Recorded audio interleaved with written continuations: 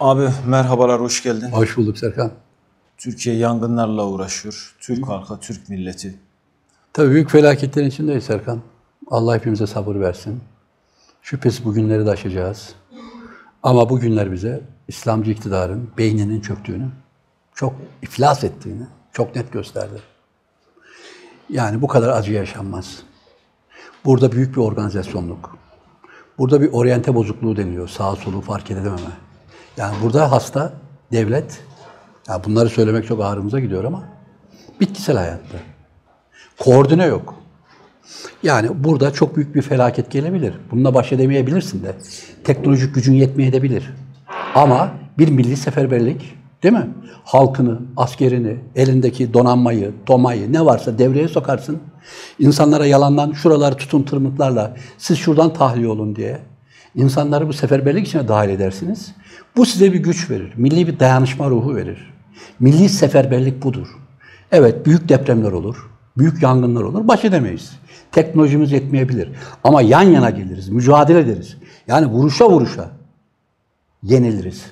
Şimdi burada o ne dediği belli değil, bu ne dediği belli değil. 50 yerde bilmem ne. Elindeki imkanları kullanamıyorsun. Ve tam da bunların üstüne kalkıyorsun. Halkın Türk tarihinde böyle bir şey görülmedi. Sadece Deli İbrahim döneminde, Deli İbrahim biliyorsun balıklara altın atıyordu. Görülebilecek bir hadise. Halkın başından aşağıda dal geçer gibi çay atıyorsun. Bu nedir? Beynin iflasıdır. Ya da birileri bizimle dal geçiyor. Ya da bunların içinde bir bölünmüşlük var. Ya da Tayyip Bey ve korumaları ve bir duvar kurmuş kendi partisiyle ve bakanlıklarıyla arasına. iflas etmişler. Böyle bir rezalet yok. Bir de işin bir iki cümlesini mutlaka çocuklara hatırlatmak lazım. Bizim gençliğimiz kurban derisi savaşlarıyla geçti. Türkiye'de kurban derilerinin toplama yasal olarak Türk Hava Kurumu'na verildi. Fakat 70'li, 80'li ve 90'lı yıllarda bunu takan olmadı. Türk Hava Yolları'nın, Türk Hava Kurumu'nun olmasına rağmen %3'ünü, %4'ünü anca toplayabildi. Diyelim Konya'da 100 bin e, kurban kesilmişse %1'ini alıyordu. Bin kişi falan veriyordu Türk Hava Kurumu'na. Kimse iplemiyordu. Türk Hava Kurumu bakanlığa, devlete şikayet ettiği halde de hiç kimsenin umurunda değildi. Sadece muhafazakar iktidarlar bunun toplanmasını istedi. Bu insanlar da geldi. Bütün İslamcı dernekler, vakıflar, yok çocuklarımızı Müslüman yetiştireceğiz, çok çocuklarımızı Kur'an kursuna yetiştireceğiz, din öğreteceğiz diye bütün İslami derneklerin doğuş ilk can suları da kurban derisi olmuştur. Yani İslamcı iktidar, Türk Hava Kurumu gibi uçağımız olsun, yangına müdahale eder ya da teknolojimiz gelişsin diye bir yerde değil. Ne yaptı? Tam bambaşka bir alanı büyüttü. Tarikatları büyüttü, Sibyan mekteplerini büyüttü, Kur'an kurslarını büyüttü. Ee, Müslüman inançlı nesiller yetiştireceğiz diye bir baktık ki tarihin en güzel coğrafyasında oturuyoruz. Ve şimdi Yörük köylüleri, Türkmen köylüleri, yani korkuyorum kahredip toprağını terk etmesinler diye. Çünkü stratejik de bölge. Tarihin zeytin ağaçları ve turizmden yani canımız yani bu ülkenin bütçesinde biraz bir şey denkleniyorsa turizmden denkleniyor. En güzel coğrafyanın parçasını Şimdi iki TL bir damla su bulamıyoruz. Sebebi sen kurban derilerini 50 yıldır nereye harcadın? Bakın kurban derisi deyip geçme. Bütün bu partiler, milli görüş dahil, bütün bu partiler, Akit Gazetesi dahil, bütün bu İslami derneklerin ilk çıkışı, ilk kuruluşu, ilk inşası, kurban, ilk parazlanışları kurban derileriyle olmuştur. Ve hepsi de ve 50 yıl, şimdi biz, ben arkadaşlarıma söylüyorum şimdi. 50 yıl her kurban bayramı geldiğinde savaş başlar ve Türk Hava Kurumu'na da saldırıya geçerlerdi. Sonra Türk Hava Kurumu'nda kendi içinde bozukluklar başladı falan bilmem ne. Ve bu büyük kurumu bugün çok büyük hale getirebilirdik. Getiremedik. İflas etmiş bir durumda. Veyahut da koordinesizlik var. Veyahut da hala çatışma ve savaş devam ediyor. E, laiklik Savaşı'nın İsrail'in başlattığı Türkiye'de, Orta Doğu'daki bütün milli devletleri yıkmak için bu savaşı İsrail başlattı. Laiklik ve başörtü savaşını, laiklik ve şeriat savaşı, laiklik savaşını birinci ayağı başörtüsüydü, ikinci ayağı kurban derisi savaşı. 50 yıl sürdü. Ve ne yaptılar? Teknolojiye gidebilirdi bu paralar. Kurban derilerinden gelen paralar. Türk Hava Kurumu'nun uçaklarına gidebilirdi. Başka şeyleri besleyebilirdin. Ama hayır, Kur'an kurslarını. Ve şimdi bakıyorsun, her gün İslam'dan bahsediyorsunuz, medeniyetten bahsediyorsunuz, camiden bahsediyorsunuz. Ama iki tane su uçağınız yok. Bu bir iflastır. Bu artık İslamcı siyasetin de bittiğini gösterir. Çok net bir iflastır bu. Şimdi bir bakıyorum insanlarda bir de şey yok, duygu yok, heyecan yok. Yani orada insanlar eve gitmiş ağlıyor. Feryat figan ediyor. Feryat figan etmeyin diyor. La anamız ağlıyor. Anamız ölmüş, köyümüz gitmiş, hayvanımız gitmiş. E, ağlayacağız, feryat figan. İnsanlar doğal olarak saçlarını başlarını yoluyor. Devlet diyor, havadan uçak diyor. Ye- Bu insanları da bir suçluyorsun. Niye ağlıyorsun diye. Niye panik yapıyorsun diye. Niye telaş getiriyorsun diye. Bakın. Bir de böyle bir şey var. Yani şimdi bir bakıyorum. Bu İslamcı dernekler, bu nereden palazlandı? Kurban derileri palazlandı. Herkes hesabını yapsın. Çok basit bir şey söylüyorum. Yarın bugün iktidar olduğunuzda bunlar aklınızda olsun. Sadece kurban derileriyle, sadece kurban derileriyle 2 yılda bir, 3 yılda bir 10 tane, 20 tane uçak alabilirsiniz. Şimdi Kızılay daha patlamadı. Bizim iktidara gelişimizde patlayacak o da. Çünkü biliyoruz orada ne olduğunu. Sadece kurban derisi değil, kurbanların bağışını sen al, uçak fabrikası kurarsın.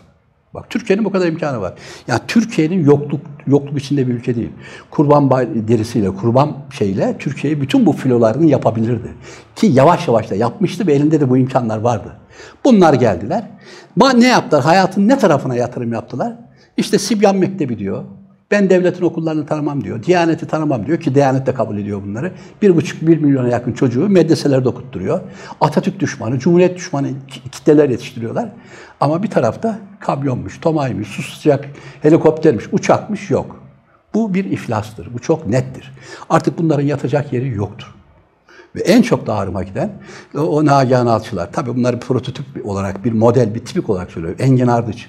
Bu Söke'de madenci faciasında da, deprem olduğunda da bunlar susardı. Bakın Türkiye yanıyor, cehenneme döndük. Bir duygu belirtileri yok, bir yazıları yok.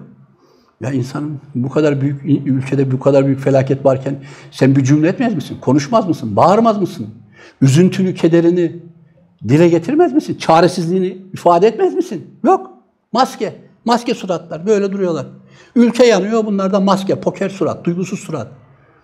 E Cumhuriyete küfrederken o kadar öfkeniz, Diyarbakır'dan Megrim'e giderken ağlıyordunuz. O kadar derin öfkeleriniz nerede? Şimdi sessizler. Hani suçluluk mu diyeyim, ne diyeyim? Ama yani İslamcı siya- köşe yazarlarının bu kadar sessiz olması. Ya ülken gidiyor ya. Deprem olursa anan ölüyor, baban ölüyor, köyün yanıyor. Kalkıp ağlayacaksın. Ya da çok üzüldüğünü belirteceksin. Yani büyük bir, ne kadar akıllı ve mantıklı bir insan olursan ol, çocuğun ölürse, köyün ölür, yanarsa, annen yangından kaçarsa ağlarsın. Bakın bu ağlama diye bir duyguları yok. Robot insanlar. Bakın Türkiye yanmış. Koskoca Ege bölgesi tarihin, coğrafyamızın zeytin ağaçlarıyla, körfezleriyle, değil mi? Kültürüyle. Kültürüyle, bütün dünyanın da koşup geldiği yer gidiyor. Duygu yok, üzüntü belirtmiyorlar. Hepsi suçlular. Ve bu şunu ortaya çıkarmıştır. Bu siyaset iflas etmiştir. Ve burada bir de velayet sorunu ortaya çıkmıştır. Yani saray bu işe müdahil olamıyor mu? Kontrol edemiyor mu? Bu organizasyonu yapamadığı ortaya çıktı. Sen buraya uçaklar lazımken sen her senin uçakların yetmezse başka yerlerden uçak alırsın, getirirsin. Ya da halkı seferberliğe çağırırsın. Bak mesela donanman gelir. Çıkarma gemileriyle tahliye yapıyoruz. Bakın değil mi? O bunlar sana bir heyecan verir. Yolları kesersin. Halk orada durur. Şu, şuradan gidin, siz şuradan gidin. Siz şurayı bekleyin diye. Bütün bunlar sana heyecan verir. Bak bütün bunlar yok. Bir nevi oturduk. e, devlet oturdu ve yangını seyrediyor. Ve bir, de yangında ya yanıyoruz feryat figan ağlayanlar varsa tweet atan bunları suçluyorlar. Niye ağlıyorsunuz diye. Ya anamız ölüyor, coğrafyamız, vatanımız ölüyor. Yörük köyleri, Türkmen köyleri toprağını terk ediyor. İnsanlar kaçıyorlar. Tahliye gemileriyle, çıkartma gemileriyle insanlar tahliye oluyor. Bir duygu belirtin. Bir şey yapın. Bütün bu çaresizlik şunu gösteriyor. İslamcı siyaset fikren de bitmiştir. Organize. Bu bu kadar büyük devlet gücünü bulunduruyorsun. Bizim devletimiz bu kadar çaresiz değil. Yani devleti kendi haline bırak. İçinde bir İslamcı bakanlar olmasın. Bu AKP olmasın. Hükümet olmasın. Bu devletin otomatik refleksleri var. Yani bir yerde bir şey olduğu zaman itfaiye gönderirsin. Değil mi? Bir yerde bir şey alarma geçirirsin. Anons edersin. Bir şey yaparsın. Camiden bağırırsın. Halk şurada toplanın diye. Bir organize gücü vardır bu halkın. Yan yana gelme gücü vardır. Zaten orada dikkat edin 3-5 gönüllü bir araya gelmeye başladı. Ama bunlar ilk günden beri çok daha güzel organize edilebilirdi. Ve bu şunu gösterdi. İslamcı siyaset yani 1960'lı yıllarda Türkiye'nin ümmüğünü sıkan, İslamcı derneklerle büyüyen, sonra partileşen bu insanlar, dinim, inancım falan diyen insanlar hepsi yalan yanlış insanlar. Ya dinine sahip olan insanlar vatanına da, memleketine de sahip olur. Bir teknolojinin değerini de anlar. Siz paraları Türkiye'de 13 milyar, 14 milyar gibi Türk tarihinin en büyük bütçesi Diyanet'te ya da bu Türkiye'nin en zengin yerleri tarikatları. Bak bunlar kurban derisi toplayarak başladı. Dilenci gibiydiler bundan 40 yıl önce. Özallar, Tayyipler derken bunlar Menzili, İskender Ağası, İskender Paşası hepsi, Hak Yolu hepsi holdikleştiler. Türkiye'nin en büyük holdiklerinin sahibi oldular. Ve paraları nereye aktarıyorlar ki burada bir uçak bulamıyorsun? Bu bize yakışır mı? Biz bu kadar çaresiz değiliz. Türkiye bu kadar organizasyon olamaz. Tarihin ilk gününden beri her şeye müdahale etmiş. Büyük meydan savaşlarına girmiş. Büyük organizasyonlar yapmış. Büyük devletler kurmuş. Hukuk sistemi kurmuş. Organize kurmuş. Teşkilatlar kurmuş. En yakın örneği de Kurtuluş Savaşı'dır. Dünya yedi düvel saldırdı. Orada 10 tane 15 tane asker telgrafla yani bir organizasyon, bir teşkilat bir şey oldu. Bu her zaman da böyledir. İşte ama şimdi burada biz yangın felaketini geçtik. Kendimizden utandık. Ya biz bu kadar çaresiz miyiz? Yani yangından kaçan bir tavşan, bir sincap pozisyonu mudur Türk milleti? Türk milleti yangında zavallıca ölen bir kuş mudur? Türk milleti halkı var, heyecanı var, coşkusu var. Ölebilir, karşı koyamayabiliriz ama yan yana geliriz. Bir milli seferberlik ruhu var.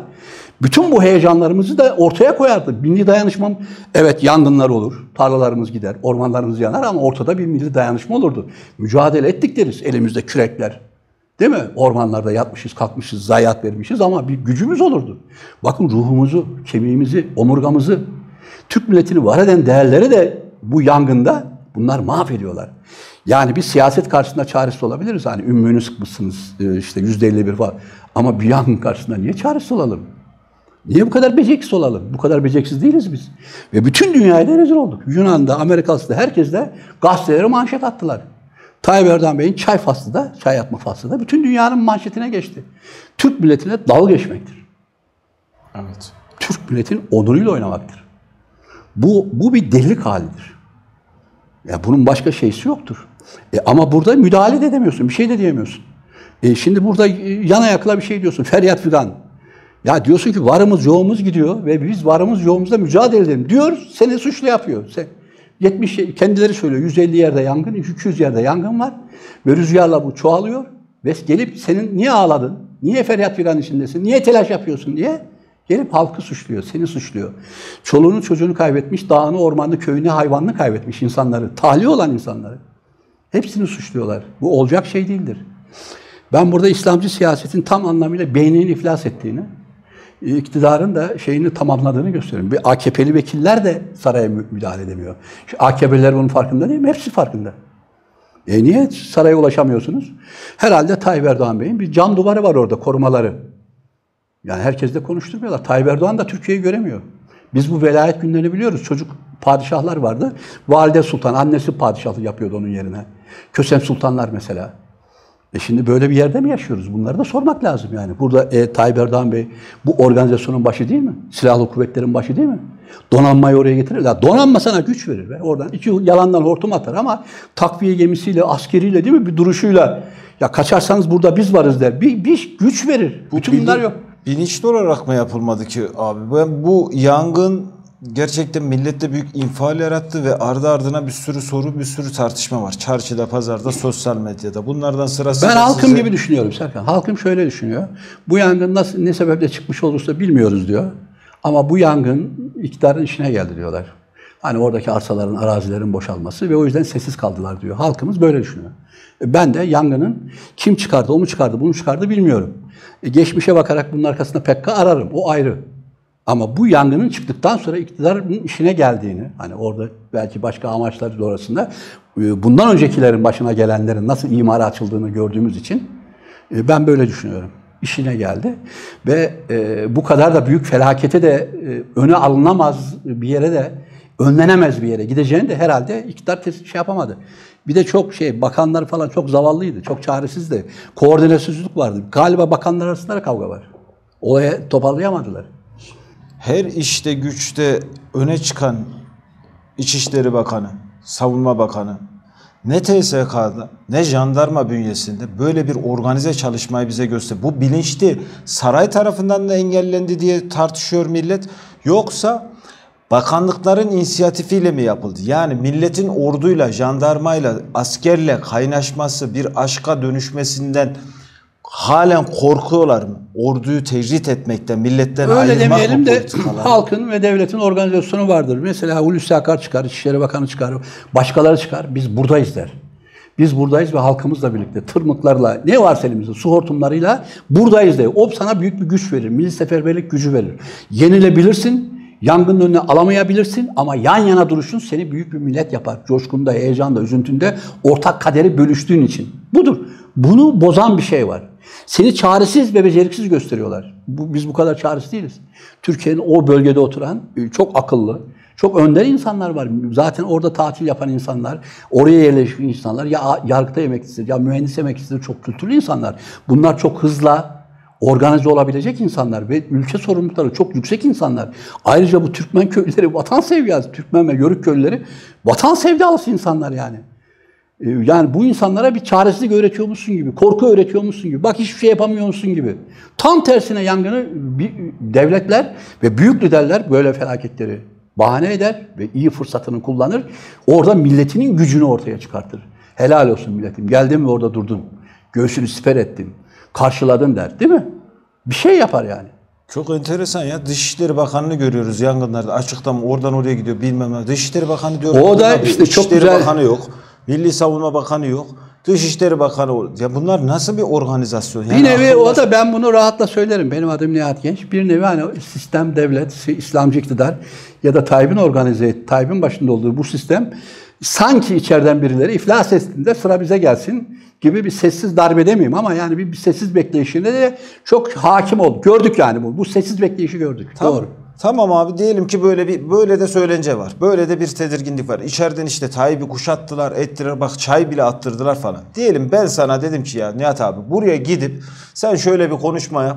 Üstüne otobüsün üstüne çık da çay at. Ya sende bir gram akıl yok mu? Sende bir gram bir izan yok mu? Bunun ne olduğunu, bu bana fert olarak, bir Türk milletinin ferdi olarak küfür ve irin gibi geldi. Oradan atılan çay değil de irin, leş. Ecevit zamanında hatırlarsın abi. Her gün manşet atıyorlardı. Sağlık raporu falan altına yapıyor bilmem. Ya kafamıza yaptılar. Kafamıza oldu ettiler şimdi. Bizim sağlık raporu isteme hakkımız doğmadı mı abi? Bu yandaş medyanın ne kadar yük- saraya bağlı olunca, insanlar konuşamayınca, yandaki insanlar bile doğruyu söyleyemeyince, yani meclisin me- meclis çoklu tartışma ortamı. Her grup, her temsilci, her fikir orada kendini milli irade adına görüyor ve konuşuyor. Ama saray böyle değil. Saray yakın dost, eş dost, akraba. Ve kimse onu üzmemek için ya da başka sebeplerden gözüne girmek için hiç kimse ona gerçeği ve doğruyu söylemiyor. Meclisle saray arasındaki fark budur. Şimdi burada e, Tayyip Erdoğan Bey bana gelse şeye gitti, uçurumdan aşağı attılar. Bu senin dediğin çay atma hadisesini bin yıl sonra, biz nasıl 500 yıl sonra, 400 yıl sonra biz. Deli İbrahim Evet. gitti balıklara altın attı diyor konuşuyorsak bin yıl sonra da millet diyecek ya böyle bir iktidar vardı. Geldi ve yangın Kimse ağzını ca- açmadı. ca- geldi ve halkın üstünden aşağı çay attı. Bak burada çay dağıtma da farklıdır, atma da farklıdır. Çay mesela oraya koyarsın, kürsünün yanına koyarsın. Millete hani açık büfe gibi elde şey. altından insanlar Ha, gelir. cenazelerde, isteyen- menazelerde olur. cenazelerde helva dağıtmak. Alır oradan insanlar ya da ikram gibi şey. Ama gelip böyle de fırlat bu atmak yani ve bu akıl alır. Ben benim onuruma dokundu. Benim ağrıma gitti. Ben bunu kabullenmiyorum ve bunu iade ediyorum. Evet. Ve şimdi mesela benim yakalanmayacağımı, tutuklanmayacağımı bilsem ben de Tayyip Erdoğan'ın konvoyunu gördüğümde hani kimseyi de kışkırtmak, teşvik etmek istemiyorum ama içimden böyle geçiyor. Ya bu şimdi Doğu Bolu Belediyesi yaptı ya meclis üyelerinin çay attı falan. E şimdi bu benim içimde kaldı. Birileri de yani bunlara iade etmeli bunu.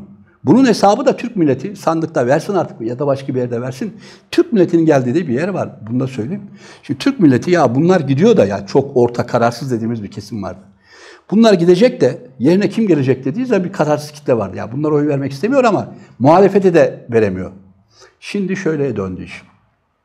Artık bunlar gitsin de bunlardan daha kötü kimse olamaz. Evet. Artık şeytan olsa şeytana veririm diyor. Daha Çünkü- fazla kimse zarar veremez. daha fazla hiç kimse zarar veremez. Evet. Bunun bunlardan daha büyüğü kimse veremez.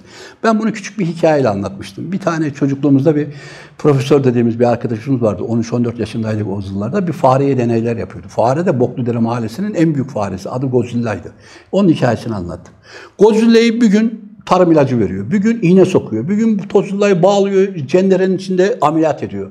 Fare illallah demiş. Bir gün geldi bana dedi ki gel dedi Godzilla'ya gene deney yapacağım dedi. Terasa çıkardı. Teras da dört katlı bir yer. Biz de gittik. Ad, ad- lakabı da profesördü. Abi fare öyle bir illallah demiş ki bundan. Geldi şey terasın kenarına geldi. Aşağı baktı dört kat aşağı. Fare ya. Sonra buna baktı. Ya bu zalim. Hitler'in şeysi gibi. Sonra bir daha aşağı baktı. Bu ona yaklaştı derken fare. Ben ilk defa fare intiharı görüyorum. Godzilla dediğimiz iri fare kendini dört kattan aşağı attı. Şöyle düşünmüş olabilir dedim fare. Lan ben bunun zalimliklerini gördüm. Nasıl işkence yaptığını gördüm. Şu- Bundan kurtuluşum yok. Şuradan aşağı atayım kendimi. Belki kurtulurum. Belki sakat kalırım gibi. Şimdi halkımız da buraya geldi. Yani uçurumu bile daha güzel görüyor. Şeytanı bile daha çünkü çok acısını çekti. Tarihiyle, kültürüyle, kurumlarıyla, devlet organizasyonunun bittiğini ve kendisiyle de e, bu bitmesine rağmen dal geçildiğini. Narko baranlar ortada dolaşıyor. Narko baranlarla ilişkiler konuşuluyor. Dava açan yok. Tarikatlar her yerde ele geçirmiş. Ses yok. Hakimlerden ses yok. Bu kadar büyük İslamcı şeyler büyümüş. Diyanet kılıcı çekiyor. Şeyde Ayasofya'da millete e, şey yapıyor. Bağırıyor, hakaret ediyor, bilmem ne yapıyor. E, şeyde bağırmada varsınız. Dalga geçmede varsınız. Türk tarihiyle alay Hamasette, etmekte var. hamaset. Hamasette varsınız. Yok İslam medeniyet kültür demekte varsınız. Ama millet ölürken yoksunuz. Cenazede yoksunuz, yangında yoksunuz, felakette yoksunuz. Organizasyon ve akıl olarak yok, mantık olarak yok. İslam medeniyeti, İslam medeniyeti. Bunu sabaha kadar ben de söyleyeyim. İslam medeniyeti, İslam medeniyeti. E hortumun yok. Bu İslam medeniyetinin su kovası yok mu? Bu İslam medeniyetinin hortumu yok mu? İtfaiyesi yok mu? Teşkilatı yok mu? Sadece İslam medeniyeti diyerek sadece yani acılarda yoksun. Şu bu şeyde Ergonokon'da da bunu gördük. FETÖ'ye teslim ederken de bunu gördük. Bir İslam medeniyeti, İslam kültürü, biz Müslümanız diyorsun. E, adalette yoksun. Adliyede yoksun. Hakimlerde yoksun. Sayıştay'da yoksun. Danıştay'da yoksun. Ülkenin devlet organizasyonlarında yoksun. Bölüşümde yoksun. Kardeşlikte yoksun ama İslam medeniyeti. Şimdi burada çok net ortaya çıktı. Lan Ege bölgesi cehennem olmuş. Ormanda yoksun, itfaiyede yoksun, bakan olarak yoksun, organizasyonda yoksun ama hala bir şey demeye çalışıyor. İslam medeniyeti, ise- e, sen hikaye bunlar. Bunlar laf. Eylemdir asıl olan. Senin bir şeyin varsa adalet duygunu ben eylemle göreyim. Gel bakayım. FETÖ ülke işgal ederken gördük adalet duygunu. Şimdi ya da FETÖ borsalarıyla da görüyoruz. Narko baronlarıyla da görüyoruz adalet duygunu. Ama şimdi gene sahada yoksunuz. Yani bu lafla, bu peynir gemisi lafla bir ülkeyi yönetemeyeceği ortaya çıktı. Çok net. Ne kadar acıklı manzara. Şimdi şu lafı, şunun altından ha, dünyada Hitler'den, Stalin'den ya da büyük abartılı şeylerden konuşulurken bir takım örnekler verilirler. Şimdi şu 100 yıl, 200 yıl konuşulacak. Sarayın kapısında 11 tane uçak ve oraya gönderecek havadan su sıkacak bir tane helikopter, uçak yok. Adam Kızılay'dan Bahçeli'ye iki helikopter, yüz araçla gidiyor abi. Tabii Tayyip Erdoğan biz emekli oturan, bahçede oturan insan olarak her akşam Tayyip giderken helikopterleri takip ediyor. Yani her yere buluyorsun. 80 tane transportörü, şey, minibüsü var peşinden gidiyor. Uçaklar, te- helikopterler tepeden gidiyor ama yangına yok, köye yok, hayvana yok. Ve bir de çok acıklı bir şey yani zeytin ağaçlarımız, ormanlarımız cennet ya. Bir cennetin cehenneme dönüşünü seyrettik. Parasını vereceğiz diyor. Bir de şey hani hayvanlar bilmem bir sürü kayıplar falan var ya. Teselli şurada buluyor. Ya da şunu söylediği zaman rahatlıyor. Aynı senin söylediğin gibi. Köyü yanmış adamın hüznü değil. Benim diyor para var. Köyünüz ne kadar yandı? Kaç tane eviniz? Kaç öküzünüz? Kaç mandanız? Kaç kuzunuz? Bunun parasını vereceğiz. Rahat olun diyor falan. Neyin gittiğini bile fark etmiyor aslında abi. Neyin yandığını bile fark etmiyor. Tabii hatıralar gidiyor insanların. O e, hayvanlarla çocuk Ya ilişki- aile- ruhun gitmiş. aile ilişkisine giriyor hayvanları. O hayvan bildiğin gibi makine şey değil yani bir o makine robot değil yani. Onlarla aile ilişkisi var. Bunlar orada hatıraları gitmiş, Anın fotoğrafları gitmiş, gitmiş, çocuğunun çeşmen oynadığı, gitmiş, çocuğunun oynadığı gitmiş. salıncak gitmiş, çocukluğunda gezdiğin tarla gitmiş ve atadan dededen gelen bin yıldır hikayesini duyduğun dedelerinin anlattığı zeytin ağaçları gidiyor, tarlaların gidiyor, oynadığın yerler gidiyor. Bunun hiçbirini anlamayacak, tahayyül edemiyorlar. Böyle bir duygu ortamları yok. Öfke yok, dikkat et. Duygu yok, üzüntü yok, sevinç yok, coşku yok. E biz burada bir zalim bir şeyle karşı karşıya kaldık. Bu otomatik bir şey.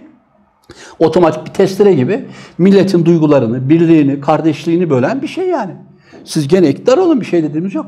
Ama Türk milleti bu kadar aciz değildir. Evet ya. Bu kadar organizasyon bozukluğu olur mu? Oryante bozukluğu sağı bilmiyorsunuz, solu bilmiyorsunuz, geri bilmiyorsunuz, ileri bilmiyorsunuz. Sıradan bir sivil kurumunun başındaki insanı bile oraya koysak, üç tane uçak şuradan bulduk. E, Donanmayı çağırır, TOMA'yı çağırır, insanları çağırır. Hiçbir şey yapmadın, tırmıklarla geride bekleyin, tahliye yolunu açın der. Denizden kaçtık, olmadı şuradan kaçarız der. Bir şey yapar yani. Bunlar bunlar kurban derilerini toplamışlar, davul yapmışlar. Biri çalmış, biri oynamış abi. Şimdi örgütlerin peki siyasi parti Şimdi orayı iyi örgütlerinin- anlatalım. Bu genç arkadaşlar orayı iyi öğrensin. 50 yıl kurban savaş, kurban deri savaşları verildi ve İslamcı dernekler büyütüldü. Oysa kurban derilerini Türk Hava Kurumu alsaydı ki aldı, aldığı kadar da bir şey oldu zaten. Ama hep verilseydi Türk Hava Kurumu'nun bugün elinde yüzlerce uçak olacaktı. Ya da şimdi siz devletsiniz, Türk Hava, Kur- Türk Hava Kurumu'nu güçlendirin. Değil mi? Ya da Türk Hava Kurumu benzeri sen kur. İlla da Türk Hava Kurumu olması gerekmiyor. Sen kur. Hayır. Sen gene işte ihalelerin, teşviklerin, bakanlıkların hepsi dergahlara çalışsın, cemaatlere ve tarikatlara çalışsın. Ama işin teknolojik tarafına, itfaiye tarafına, uçak tarafına bize ilaç lazım. E, aşıda da bu oldu. Aşı bulamadık. Bir yıldır aşı satın alamadılar. Aynı şey. Aşı yok. Menzil tarikatına var, Diyanete var, Hacı Hoca'ya var, İsmail Ağa'ya var. Bunlara ihaleler var. Bunların hepsi holding oldu, vakıf oldu. Ama aşıya yok, suya yok. Bir damla su yok. Ya bir damla su yok. Bu olacak şey mi? Bunlar ne oldular? Türk Hava Kurumu'nu beğenmeyebilirsin. E kendin yap. Teknolojiyle ilgili. Ya yarın bugün bir şey olur. Yangın olur, felaket olur, deprem olur değil mi? Bu teknolojik yani artık büyük savunmalar büyük teknolojilerle oluyor. E şimdi burada neyi anlıyoruz biz? Bu beyin iflas etmiştir. Bu çok nettir. İslamcı siyaset beyni iflas etmiştir. Saray iflas etmiştir. Böyle bir de acil durumlarda ilk yapacağın iş nedir? Yani devletler büyük saldırılara, büyük önüne alamaz. Felaket çıktığı zaman birden meclis toplanır. Deli İbrahim döneminde yaşamıyoruz abi. Kösem Sultan döneminde yaşamıyoruz. Birden meclis toplanır. Meclis oraya çıkar, olağanüstü bir hal alır, tartışma alır, yetkiler verir de, değil mi? Masalar kurulur, kriz masaları kurulur, devlet olaya müdahale olur. Biz e, yangın 10 gündür sürüyor. Tabii ki bu yangın Yunan'da da var, Kaliforniya'da oldu, orada da oldu. Ama bir masa kurulur, bir koordinat olur, millete bir güven verilir. Tahliye yolunun şurasıdır, yalnızdayız der. E, Yani mi- milletle dalga geçer gibi başından şey yaparak Aynen buradan şunu soracağım abi. Tamam biz mevcut iktidara bu sert eleştirileri yapmakta yüzde yüz haklıyız. Muhalefet. Peki muhalefet bu organizasyonların neresinde oldu abi? Şimdi AKP'nin ilk önce AKP'nin gençlik kollarından başla. Bu mu vatanseverlik? Audi'lerde, Porsche'larda kokain içerken gençliklerini görüyoruz abi. Pudra şekerlerini yerlerken bilmem ne yaparken gençlikleri var. Lan hiçbir birinizin 100 kişilik 200 kişilik gençlik örgütünüz yok. MHP'nin ülkücü kadrosu, İşçi Partisi'nin gençlik kadrosu diyelim. İyi Parti'nin gençliği, CHP'nin. Ya CHP'liler 100 tane genci örgütleyip de iki köy niye kurtaramadık? İki tane işte ev ya şöyle bir kriz çıkmış. İnfal. Herkes yani Şimdi burada dediğin çok doğru ama e, çok da şöyle ayrıntılar var. Diyelim orada falan partilerin alt teşkilatları yavaş yavaş müdahil olduğu, halka yardım, su bilmem ne falan gibi ama e, burada e, merkezde yer alan bakanlık, organizasyon yapanlar bunları ittiler, kenara ittiler. Yani görev de vermediler, saha dışına attılar. Hatta sahaya gir, girmeyi onlara şov yapmakla suçladılar. Yani çok az gönüllü e, ve müdahil olmak isteyen irili ufaklı partiler falan çıktı ama onlar da engellendi. Devreye de sokulmadı. Aslında heyecan verilse, teşvik edilseydi onlar da büyük devreye girebilirdi.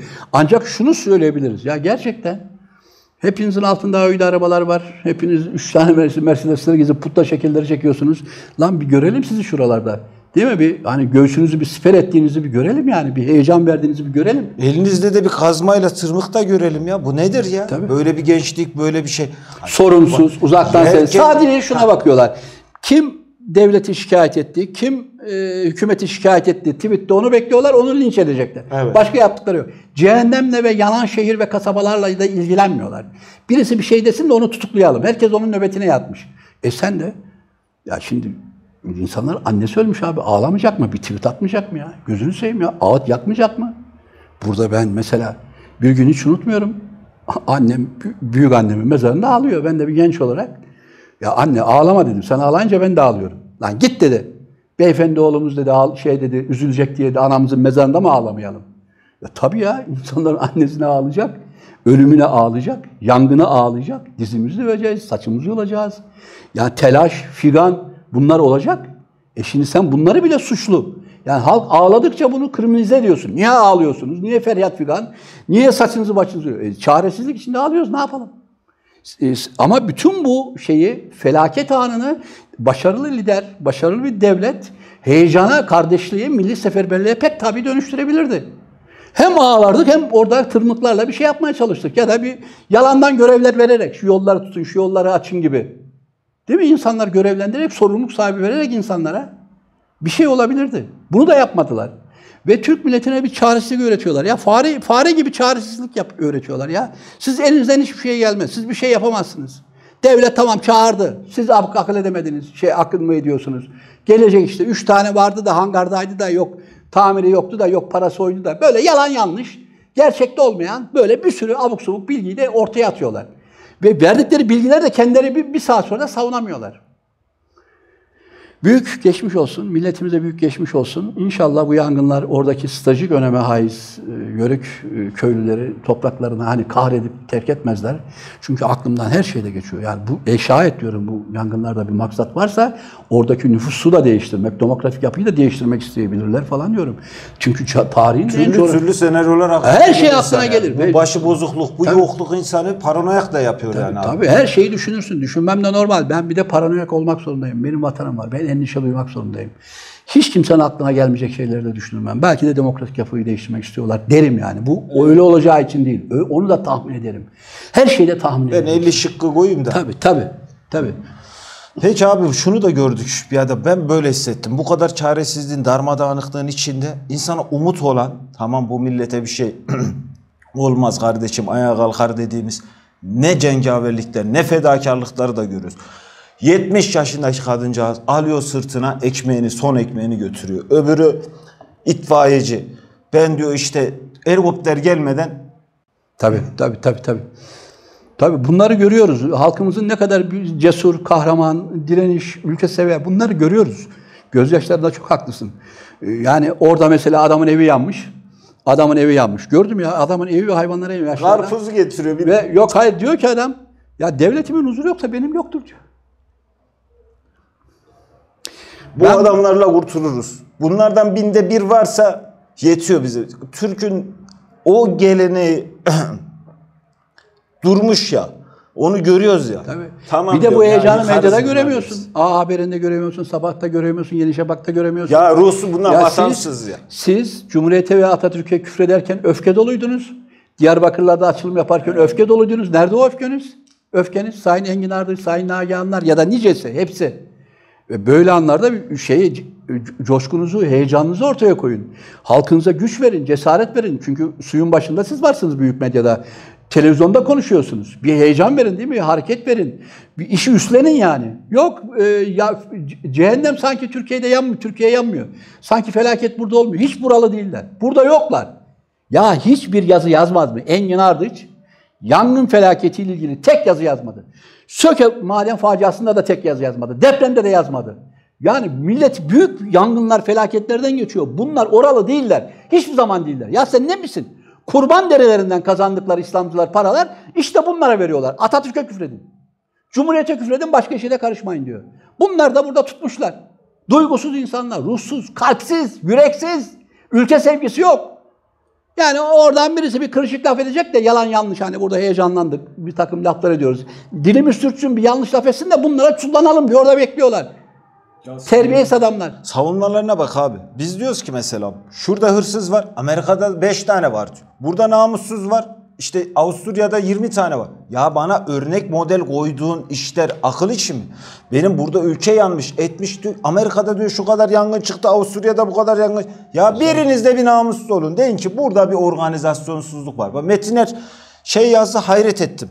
Ya bu çay dağıtma işi nedir kardeşim? Buna da biriniz dur deyin. Bir daha böyle şeyler görmeyelim. Et... Yani aralarında mecbur Yani- sıkışmalarla bir iki cümle falan çıkıyor. İnsan böyle ölüm anında, büyük felaketler anında bahane arayamaz, mazeret gösteremez. Gösterse de onları önemli hale getiremez. Bunlar her şeyi mazeretle çözmeye çalışıyorlar. İnanılmaz, aklımız Her yetmiyor şeyi ya. bahaneyle, akıl almaz. Cehennemin ortasında bize mazeret sunuyor. Yok ayakkabının bağı yoktu diyor. Yok bilmem neyi yoktu diyor. Yok civata yoktu Aynen. gibi. Bunlar olacak şey değil. Bunlar Türk milletin aklıyla, zekasıyla.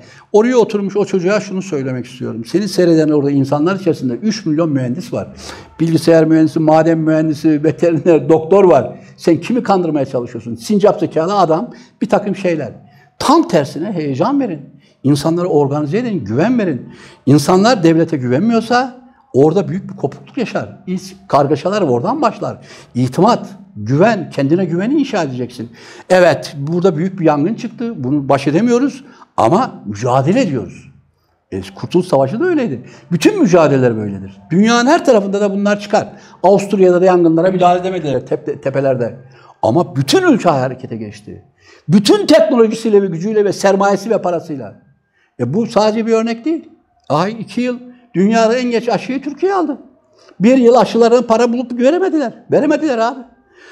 Her gün bize bütün medyası bize Ayasofya Camii'den Diyanet Başkanı kılıcı buraya koymuş, nutuk çekti. Mini etek giymeyin, yok ilk yok bilmem ne diye yolda geçen insanlara laf atan yobazlık hikayeleri. Bir yıl boyunca. Ya aşıya para bulamadın. Aşıya para bulamadın. Gerçek bu. Narko baranlar 5 tonluk e, gemiler, sevkiyatlar yapıyor. Bir başbakanın 28 milyar dolar gibi parası olduğu söyleniyor. Ama aşıya para bulamıyorsun. E, bu gerçek. Şimdi de itfaiye para bulamıyorsun. Ya bu gerçek. Siz bu paraları nereye götürüyorsunuz? İddiamız budur ki bu paraları menzilin ihalesi yiyor. İskender Paşa yiyor, İsmail Ağa'ya, şimdi dergahlar yiyor. Bu dinci minci garip yerler yiyor. Ya kardeşim bu ülkenin parası herkesedir. Gelin bölüşün. Hani bize maaş bunu vermiyorsunuz. Bari yangında bir şey yapın. Su dökün bari. Bir bardak su. Bir tane helikopter bari. Bu da yok. Bir de e, Türk milletin hani yok diyemezsin. Şimdi görüyor işte kuru herkes kurban derisi hesabı yapsın. Kurban derilerini tek bir kuruma getirelim. A kurumuna getirelim. Ali kurumuna getirelim. E bu zaten her yıl kurban derisi bir yere gitti takdirde 10 uçak zaten alıyorsun. Kurbanları tek bir kuruma getirelim. Kurbanları bak Kızılay ileride karışacak bizim miktarımıza. Biz ondan neler döndüğünü biliyoruz. Multi milyon dolarlar var orada. Ve kurban derileri de bir yere gelsin, kurbanlar da bir yere gelsin, bir yerde toplansın. Türkiye uçak fabrikası kurar. Türkiye imkansız bir ülke değil, yok bir ülke değil, çaresiz bir ülke değil. Türkiye'nin otu böceği her yeri para. 400 milyon kirazdan var, 400 milyon kayısıdan var, fındığından var, çayından var, tütününden var, zeytininden var. 70-80'i işte turizmden var, 60-70'i. Her tarafından para kaynıyor. Sadece bu büyük servet ve zenginlikler sarayın keyfine. 10 uçak oluyor, oraya su olmuyor. Bir şişe su olmuyor. Bizim iddiamız da bu. Bir ülke kardeş, Müslümanlık dediğin kardeşlik değil mi? Dindarlık dediğin kardeşlik değil mi? Burada ne var? Ekmeğimizi bölüşeceğiz. İnsanlar nasıl kardeş olur? Ben seni çok seviyorum. E sen açsın yüzüne bakmıyorum. Evin yanı yüzüne bakıyorum. Ben seni... Öyle değil. Ekmeğini böleceksin. Senin cenazende yanında olacağım. Mezarında olacağım. Ailende olacağım. Senin aç gününde yanında olacağım. Zor günde yanında olacağım. Kardeş böyle olacaksın. Devlet halkın zor gününde yanında değil. Depremde yanında değil. Aşı, pandemide yanında değil. Pandemide yanında değil. Aşıyı getiremediler işte abi. Bir yıl herif bize maval okudu da yalan yalan her akşam çıktı şey yaptı. Meğer aşıya para bulamıyorlarmış. Ve bir bakıyorsun ki milletin yanında yoklar. Bu paralar başka bir yere gidiyor. Türkiye'nin servetleri. Ne yaptık? Ne dedik burada? Burayı tamamlayalım. Lafa girdiği için tamamlayamadım. Kurban derileriyle Türkiye'nin servetleri ne oldu? Yer değiştirdi. Çünkü kurban derileriyle güçlenen bu İslamcı harekatlar siyaset yaptı. Ve sonra iktidara geldiler, sonra holdinglere çöktüler, sonra televizyonlara çöktüler. Aşırı şekilde büyüdüler. Ama bunun en zor basamağı birinci basamaktı. Can suyu. O da kurban derilerine sahip olmaktı. Yani bu dini sadaka fitne buraları ele geçirmekti. Yasa dışı olarak hükümetler bunları destekledi sağ iktidarlar. Türk Hava Kurumu diyordu ki ya bunlar kurban derilerini topluyor. Hiç Türk Hava dıngılında kimse olmadı. Aynı şekilde özel iktidara geldiğinde ki bunların iktidara gelişiyle özel iktidara gelişi aynıdır. Bu cemaatlerin Türk devletinde şey yapması. Özal'la geldiğinde de Türkiye'nin çok büyük kooperatifleri vardı. Güçlüydü bu kooperatifler. Mesela e, bize Kıbrıs'tan dolayı ambargo koydular. Tarış yağ getirdi ya. Buldu getirdi yani. Gözümüzle gördük bunları. Biz Tarış önünde kuyruk oluyorduk. Çukurova önünde kuyruk oluyorduk. Bunları gördük biz. Bak Çukurova çok büyüktü. Tarış çok büyüktü. Marmara Bölük çok büyüktü. Fisko Bölük çok büyüktü. Bunlar çok büyüktü. Böyle çok büyük.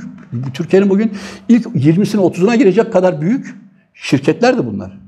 Sonra Özal geldi, Dünya Bankası emretti, kooperatifleri küçülttü. Bunlar elinden arsalar aldı, imkanlar aldı, bunlara teşvik vermedi. Şirketleri büyüttü. Şirketler. Ne oldu şirketler? Özel şirketler, bir kişiye ait şirketler, kooperatiflere değil, bir kişiye ait şirketler büyüdü ve siyaseti onlar üzerinden yaptı. O şirket geldi Habertürk'ü kurdu, o şirket geldi CNN'i kurdu. Ve hem şey, siyaseti manipüle ettiler hem de Türkiye'nin servetlerine geçirdiler. Ve kooperatifleri def edip şirketleri yerine geçmek Dünya Bankası emriyle bunun köpeği oldular. Ve palazlanan İslamcı siyaset iktidara gelince de bu şirketlerin hepsini ilk 500'deki diyelim ilk 20'deki şirketleri ele geçirdi. Ne oldu? Para ve servetler sınıf ve yer değiştirdi. Kooperatif nedir? Çok insan. Çukurova'da bir kooperatifin 50 bin üyesi varsa e, karı 50 bin kişi yiyor. Şimdi iki şirketim var, üç kişi yiyor karı. Evet. Bunlar da bir menzil yiyor. Bir İsmail Ağa yiyor, bir Diyanet yiyor. 10 tane 15 tane adam yiyor. 15 Cengiz Holding gibi 15 tane de müteahhit yiyor. 30 kişi yiyor. 100 milyon aç. Oysa servetleri bölüştüreceksin. 10 lira sana, 3 lira ona, 5 lira ona, 2 lira ona. Yani ama Bir tarafa 1 milyar dolar, bir tarafa sıfır. E şimdi o bakıyorsun bunların hepsi o öde içinde oturuyor. Hepsi Mercedes içinde, hepsi büyük arabalar içerisinde. Sana sıfır, Bağkur, 2000 lira para. Bu olacak şey değildir. Bu kadar eşitsizlik, adaletsizlik yani ağzımıza İslamcı diyoruz, İslam demiyoruz. İslam dersem de şey yaparım, yanlış söylemiş olurum. Ama alıştırdılar bizi buna. E şimdi İslam nerede adaletsizlik? İslamcı diyoruz. Nerede eşitsizlik? İslamcı diyoruz. Ahlaksızlık, hırsızlık, narko, eroin İslamcı diyoruz. Ya bu söyleseler bana bundan 25 yıl önce bana söyleselerdi ben buna inanmazdım. Bütün pisliklerin altından İslamcı siyaset çıkıyor. Şimdi başka bir şey. Neye benziyor buradan? Milyonlarca yörük köylüsü oradan köylerinden kaçarken neye benzettin? Hani Kavimler göçü gibi yani. Suriye'ye benzetmedim. Ben Suriye'ye benzettim. Suriye'de de insanlar imha savaşından kaçarken öyle kaçtılar. Bakın bunların el attığı yer. Orada da Müslümanı Müslümana kırdılar. Orada da başka şekilde. O zaman da duygusuzlardı. Güya zalim Esad diyorlardı. Ya 5 milyon, 4 milyon insan kaçıyor. Yerini yurdunu toprağını bırakarak. Bunlarda duygu yok, üzüntü yok, panik yok. Ya ne olmuş geliyor. Ya gelsin de kardeşim yani burada bir insanlık trajedisi var. Buna bir duygu belirt. Şimdi gene aynı şekilde Suriye benzeri insanlar kaçıyor neredeyse aynı benzer gibi. Başka sebeplerden yine duygusuzlar. Ya yine gittikleri her yerde bunu yapıyorlar. İşte Suriye'de yaptınız. İşte Afganistan'da yaptınız. İşte Ege'de yaptınız. İşte aşıda pandemide yaptığınız. Yani bu, bu ülkenin, bu ülke bu kadar şeyi, beceriksizliği, yani ihanet, vatan haini, cakcuk gibi lafları etip hukuki pozisyonlara düşmek istemiyorum. Bu kadar beceriksizliği, bu kadar akılsızlığı, bu kadar şizofreni, bu kadar paranoyayı hak etmiyor bu ülke. Bu ülkenin e, sıfır noktasında büyük bir gücü vardır. Sıfır noktasında. Ya, toprağın gücü vardır, insanın gücü vardır, ağacın gücü vardır, yazarların gücü vardır. Hepsinin elini kolunu bağladılar ve çaresizlikle, tehditle, sobayla, zalimlikle, sus konuşma, sus konuşma. Ona tekme, buna dayak, buna soruşturma. Ülkenin insanların iliklerine kadar titretip ellerinde şey çözüyorlar. Kendileri gibi ülkeyi de bitkisel hayata çeviriyorlar. İşgale hazır. Müdahale edilebilir. Kimse laf edemiyor. Ve o adamları da yalnız bırakıyor. Buradan Bolu Belediye Başkanı'na selam ve sevgilerimi gönderiyorum. Hakikaten önemli bir duyarlılık. Orada yanlış bir şey var. Şu dil ya da bu dille bir duyarlılığı Şimdi öne orada düşünüyorum. e, bir şey var. Bir duyarlılık olarak takdir edilebilir.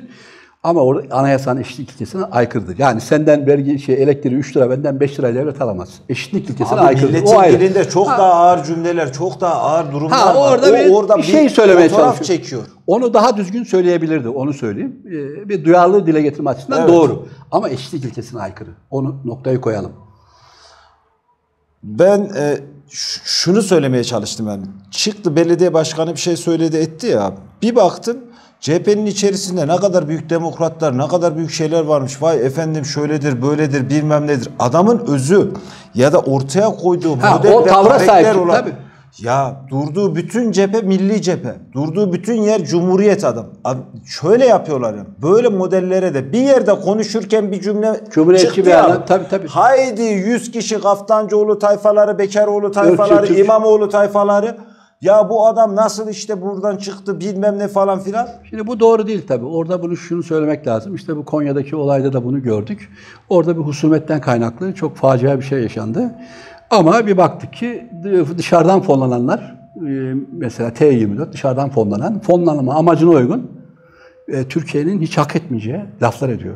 Ve Türkiye'yi iç savaşa götürecek, hiç dünyada hiç kimsenin söyleyemeyeceği laflar ediyor. Etnik kökeninden dolayı diye iki tane haber yapıyor. Etnik köken. Ya husumet var.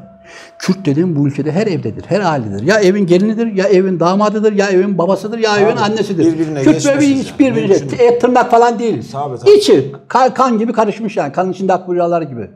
Ve sen kalkıp etnik diyorsun bak bekliyorlar şeyde. Aportta bekliyorlar Türkiye'de. Bu yüzden fonlanıyorlar. Bu yüzden maaşlanıyorlar. Şimdi bu Bolu Belediye Başkanı'na ırkçı diye saldırıya geçenler de öyle.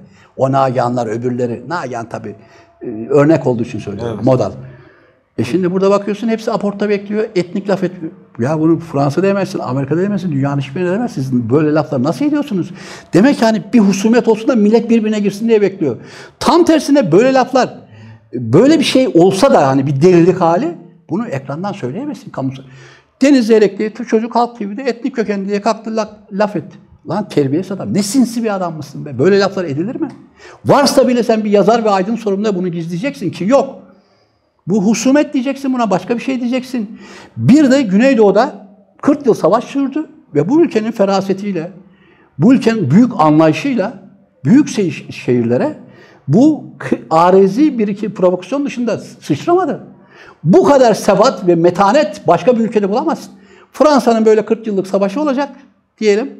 Amerika'nın böyle 40 yıllık savaşı olacak ve büyük şehre sıçramayacak. Olacak şey mi? Savaş çoktan girmişti. Ama Türkiye'de İzmir, İstanbul halkı, bu halkın e, bir feraseti vardı. Bunlarla biz kardeşiz dedi. Burada işi pisliğini çıkartan Amerika destekli, Batı destekli, PKK dedi. E şimdi bakın yani bu gerçekten de böyledir. Ve büyük şehri taşımadı. Şimdi siz e, kalkıp böyle bir etnik ameliyat yapacak, etnik kavga, biz bunu Yugoslavya'da gördük, bu çok tehlikelidir. Vahşi, vahşiliktir bunu söylemek. Ve bu terbiyesiz adamlar hem demokrat, bunlar da demokrat diyor. Etnik laf edip hem demokrat nasıl olabilirsin sen? Etnik laf edip hem özgürlükçü nasıl olabilirsin? Gidiyor o T24 İnsan Hakları Derneği diye bu etnik sicili meşhur o kadınlardan şeyde İnsan Hakları Derneği'nden şey görüş alışverişleri yapıyorlar. Yani tam fırsatını bekliyorlar. Etnik diyelim hani bu ülke birbirine girsin falan gibi. Ya düşman gelmiş ya. Bu ülkedeki bütün provokasyonları hani e, Alevi Sünni diye, Maraş'taki bilmem ne diye hep düzenleyenler buradan seni zaten şey yapıyor. Sen bunu bilsen bile söyleyemezsin. Ama bekliyorlar. Kansız, ruhsuz. Ülkede bir savaş tetiklemek, kışkırtma için pa- peronda bekliyorlar. Hepsi. Ve ben utandım yani. Bu kadar pis bir şey olabilir mi? Buna herhangi bir bu ya bir, cumhuriyette herkes diye bir kavram vardır. Nedir herkes? Arap da herkestir. Laz da herkestir, Kürt de herkestir. Haklardan herkes. Herkes bu ülkede cumhurbaşkanı olabilir. Her yurttaş. Her yurttaş aynı vergiyi verir. Her yurttaş mahkemede birbiriyle eşittir. Bitti. Ne deşiyorsun, ne karıştırıyorsun? Ama Konya bize bir şey gösterdi. Bir takım adamlar var, 10 tane, 15 tane adam. Hepsi de dışarıdan fonlanan ya da İslamcıların fonladığı. Nagihan da İslamcıların fonladığı. Engin Ardış da İslamcıların fonladığı. T24'te dışarıdan fonlanan, öbürü de dışarıdan fonlanan. Dışarıdan fonlananların hepsi Konya'da olay olur olmaz etnik bağ kurdu. Hepsi yazdı da bunu. İşte böyle de bir tehlikeli bir yerdeyiz. Adamların karakteri bu. Ruhsuz insanlar. Ülkeyi dinamiti yani kıvılcımı tutuşturmak için bekliyorlar orada. Ve bunun adına da özgürlük diyorlar. Bunun adına da insan hakları diyorlar. Sen etnik dedikten sonra insan hakkı nasıl diyebilirsin? Etnik diyen bir insan insan hakkı diye bir şey yoktur. Sen vahşisin. Ülkeyi birbirine kırdırmaya çalışıyorsun. T24. O etnik lafları nasıl edersin? Deniz Zeyrek Bey. Terbiyesiz adamlar. Ne sinsi insanlarmış bunlar.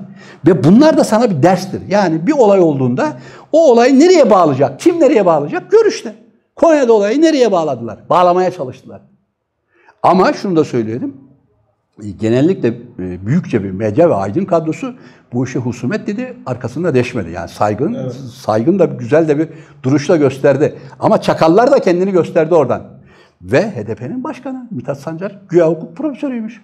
Hemen etnik ırkçılık falan diye girdi. Hani bekliyorlar ya bir bahane. Terbiyesiz adamlar. Kıvılcım yani yangına benzinle koşmak dediğimiz bu. Ellerinde benzin, onlar parti değil. Ellerinde benzin bidonu bekliyorlar. Bir şey olsa da yaksak.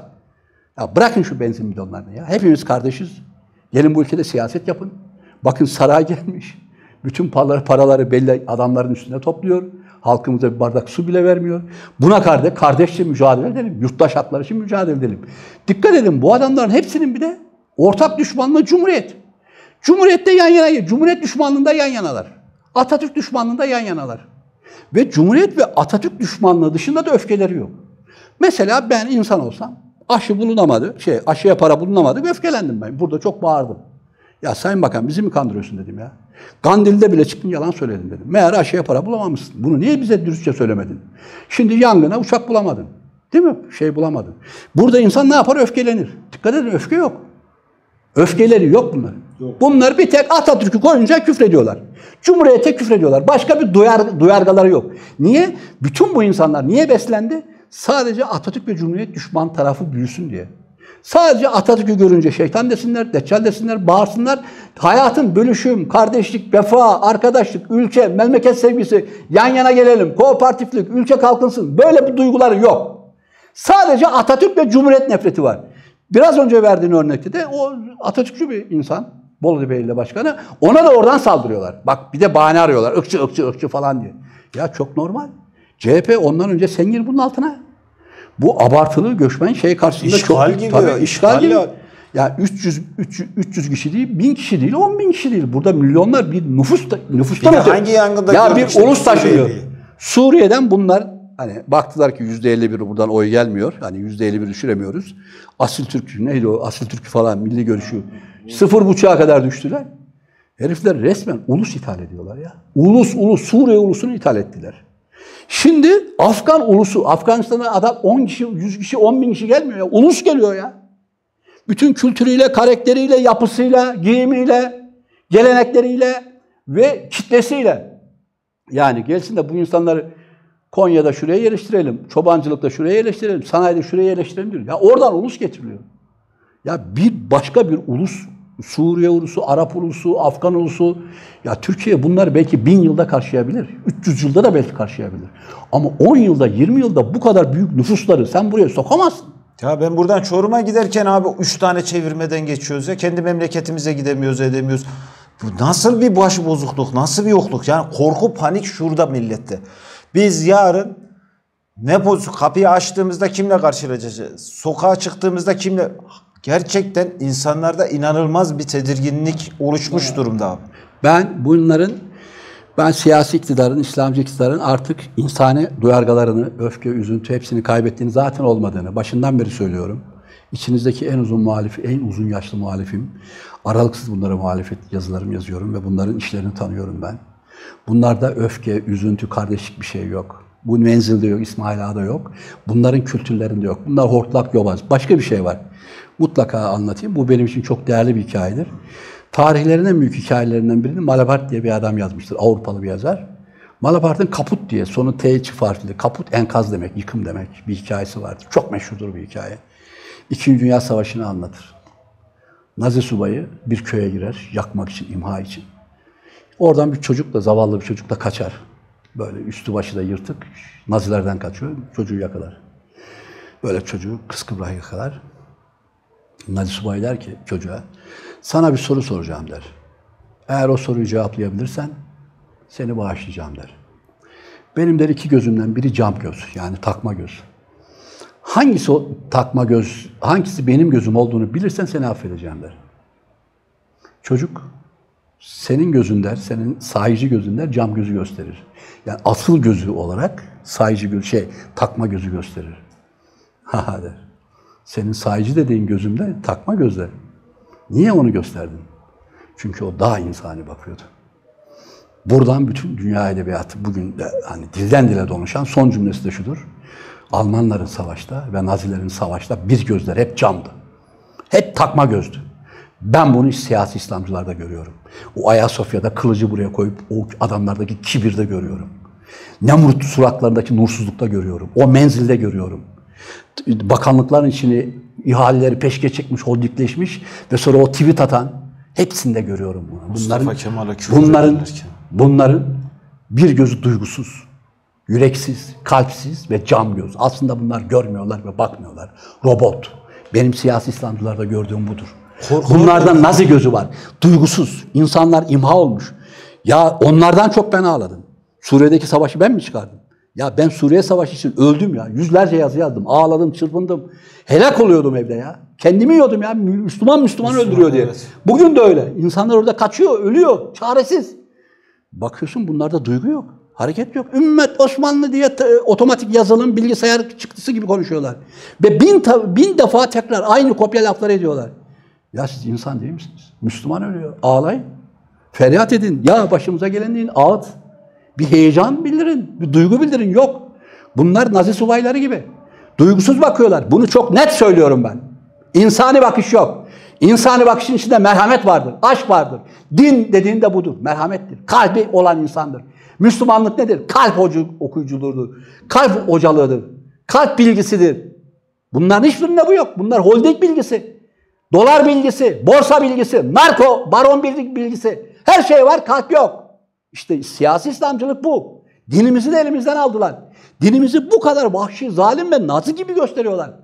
Korku şey ya. Allah'tan korkmayan Stalin gibi adamlarla karşı karşıyayız ya. Ağlayan yok. Şimdi bu kadar cehennem. Tarihin en güzel coğrafyası elimizden çıktı mı abi? Ege'de yüzlerce güzel kasaba. Yani ağaç yürüdükçe köyüne bakıp, sahiline bakıp güzelliğinden ağladığın kasaba elinden çıkıyor. Bana sabahtan, Yeni Şafak'tan, Akit'ten bir tane adamın duygulu bir cümlesini gösterin. Ya şu kadar güzel yerler nasıl yandı, içim parçalandı.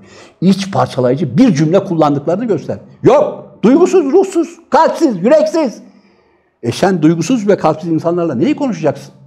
O kaput hikayesindeki gibi gözleri takma.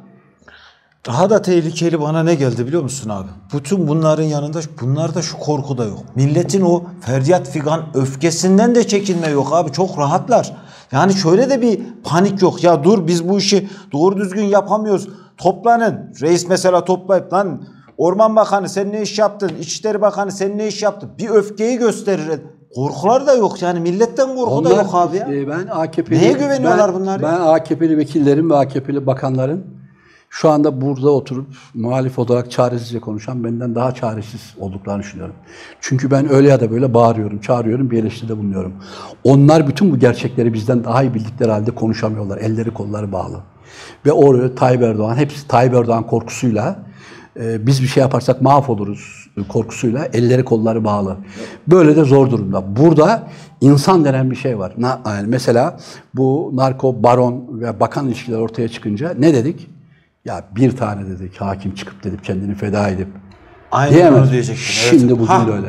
Bir tane bakan, namuslu çıksın ya. bir tane AKP'nin çıkıp ya siz yanlış yapıyorsunuz, eksik yapıyorsunuz. Ya da ben yapamadım, Bu özür Ne dilerim. de devletime sığar, ne ahlakıma sığar, ne dinime sığar demesi lazım. Biz bunların hiçbirini göremediğimiz için bu kadar delileniyoruz burada. Ve arıza bizde mi? Yani biz mi böyle? Ha bunu böyle cehennem olurken, Suriye'de milyonlar ölürken, burada cehennem olur, bütün ormanlar yanarken Şöyle akıllı mantıklı insanlar gibi. Hı, üç köy yandı. Hı, beş köy kaçtı. Hı, altı Şu ay- kadar para, bu kadar eder. he, şu kadar alırız, buradan çalarız. Şu kadar toki verirsek olur. Tamam biraz da şey çay attık. Yani böyle bir şey değil. Yani dünya böyle değil. Biz ha- hayatı da böyle bilmiyoruz. Yani insanlar, anneler, şimdi oradaki anneleri e, kaçarken, yürürken, anneler orada kaçıyor, ben buradan ağlıyorum. Benim gibi milyonlar ağlıyor canım yani. E siz bu kadar ruhsuz, sizi bu kadar ruhsuz yapan hangi siyaset? Bunu bir sorgulayın. Yani bunu ben bilemiyorum yani. Ben tarihler bin yıl, bak yüz yıl değil, bin yıl bu rezil ve kepazelikleri ve beceriksizlikleri ve bu duygusuzlukları konuşacaklar. Şimdi Yahudilere kalkıp şey diyorduk mesela, ya kardeşim İkinci Dünya Savaşı'na dair 10 bin tane film çektiniz, yeter be diyor. Değil mi? Diyoruz. Lan 100 bin tane çektiniz, yeter be. E şimdi bunlar da öyle. 100 bin tane çekilecek, 100 milyon çekilecek. Bu kadar beceriksizlik, organizasyonluk, hiçe saymak, memleketi hiçe saymak, yaylaları, sahilleri, Danıştay'ı, Sayıştay'ı, arsaları, kamu özel teşebbüslerini hepsini alıp cebelleze etmek, kapına 10 tane uçak koyup sonra oraya bir uçak göndermemek. Bütün bunlar bin tane, on bin tane film olacak. Siz tarihten kazındığınızın farkında değilsiniz. Çünkü merhamet olarak yoksanız, adalet olarak yoksanız tarih sizi kabul etmez. Siz gittiniz mi? Sizin bütün fikirleriniz, kütüphaneleriniz, insanlarınız hepsi ortadan kalkacak. Yani yok bunu kaldırmaz. Hiçbir toplum bunu kaldırmaz. Yani gelecek de sizi insanlar yok edecek anlamda değil. Sizin fikriniz gidecek. Yani böyle bir say. Şimdi Almanlar nasıl şey yapıyorlar? Kendilerini tatmin ediyorlar. Ya işte biz Alman ulusu olarak büyük bir millettik ama tarihin bir döneminde 20 yıl geldi. Bizi manipüle etti. Irkçı bir şey, nazi şey adam. Bizi bu hallere geç. Siz bunları diyemezsiniz. Görüyorsunuz ve yaşıyorsunuz. Hepsi görüyor ve yaşıyor. Bunları söylemek istiyorum. Son olarak abi şey soracağım. Sedat Peker de en son Fatih Altaylı'ya işte kızıyordu. Herkes işte hatta aşmamak lazım falan. O da zamanında böyle bazı gazeteciler ya da bazı medya organlarını hakikaten şey diye görüyordu. Ya da görüyor. Muhalif medyayı falan. Bunlar çok daha iyiymiş namus. Ama tanıdıkça, gördükçe, ettikçe herhalde başka bir sorgulamaya giriyor. Yani bakıyor ya bu adama da biz böyle diyorduk da bu adam da başka bir şey. Bu adam da şöyle çıktı diye. Medyanın sorgulanması da hakikaten bence sağlıklı bir yere doğru gidecek diye düşünüyorum abi. Allah büyük diyelim. Benim Türk milletine inancım çok büyüktür. Ee, Cumhuriyet fikri yıkılmıyor. E, bütün bunlar Cumhuriyet fikrinde pekiştiren şeyler. Cumhuriyet nedir? Hukuk karşısında herkes eşittir. Ve halkın iradesi mecliste, sarayda değil, mecliste temsil edilmeli. Ve hakimleri olmalı, kuvvetler ayrılığı olmalı değil mi? Sayıştayı denetim yapmalı, danıştayı değil mi? İdari denetimleri yapmalı. E, bütün bunları halkımızın olan inancı büyüktür. Bunlar rezil oldukça Cumhuriyet fikri ortaya çıkıyor. Şanssızlığımız ve kadersizliğimiz İyi Parti'nin ve CHP'nin Cumhuriyet fikrine sahip çıkmayışı, vatansever ve cumhuriyetçileri tasfiye edişi.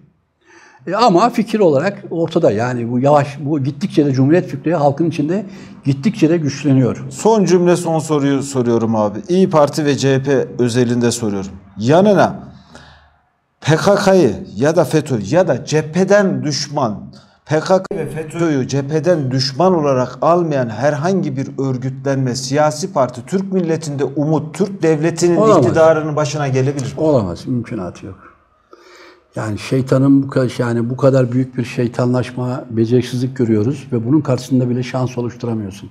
Niye orada PKK engeli var? Evet Çünkü orada FETÖ engeli var. Evet. İçinize FETÖ'yü, PKK'yı doldurmuşsunuz. Halk o yangından kaçarken ya burası da yanıyor. İki ucu boklu değnek yani. Evet, Nerede? ortada bırakıyorlar.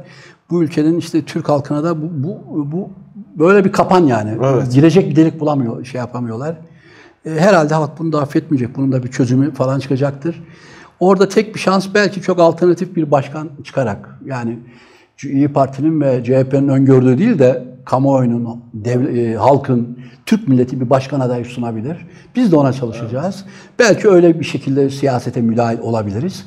Çünkü Türk halkı e, büyük bir içinde büyük başkanlar yaratıyor, adayları yaratıyor. Ben buna Tabii tabii. çok da gördük ya. 70 Yani- yaşındaki kadın bize umut ya. 80 Tabii. yaşındaki adam Ben- cengaver. Türk milletin içinde bir sürü ve çok güzel başkanlar olduğunu ve bu başkanların da kalkıp kendilerine iyi kadrolar yapabileceğine inanıyorum.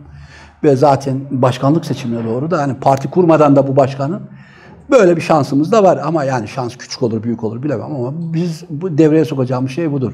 FETÖ ile iç içe girmiş, Biden'la iç içe girmiş, PKK ile iç içe girmiş. Bu yapılar, yani bir şey diyemiyorum. Ha gidin bu AKP'ye biri gelir derse ki biz AKP'yi deviriyoruz ve AKP'ye karşı oy veriyoruz. Kesinlikle yanındayım. Verin. Yani gitsin bunlar. Bu ayrı. Ama gelenin de yanında değilim. Gelenin de yanında asla değilim. Çünkü FETÖ ve PKK karması da bir şey geliyor. Onun da e, önlemini almak zorundayız. Nasıl alacağız? Biz de kendi başkan adaylarımızı, biz de kendimiz örgütlenerek Cumhuriyet fikri etrafında işte böyle. Abi Allah çok, büyük diyeceğiz.